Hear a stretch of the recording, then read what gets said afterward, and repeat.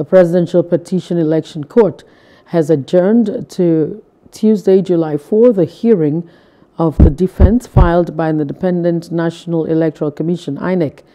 The court on June 23 fixed July 3rd for respondents to open their cases in defense of the petition filed by aggrieved parties challenging the outcome of the February 25 election wherein Bola Tinubu emerged as the president.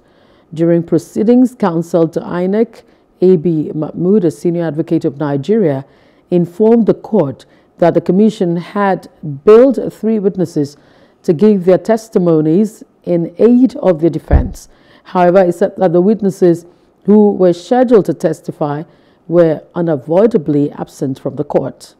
The PEPC, headed for, by Justice Haruna Tsammani, heeded the request following the agreement of other parties in the case. Lead counsel to Labour Party, Livy Uzoukwu, reacted to the ruling. On our part, we prepared so well that we were ready to embark on a demolition work. But that is their case. They came to court and said that um, they was well, they, they, wanted to. You know, they have three. They proposed to have three witnesses today. The first one was unavailable due to domestic reasons.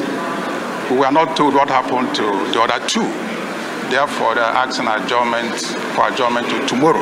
We are ready to come here tomorrow, but I have a hunch that um, given the contradictions and inconsistencies and uh, what INEC has done, I'm sure that um, they're not ready to defend this case. I stand to be proved wrong.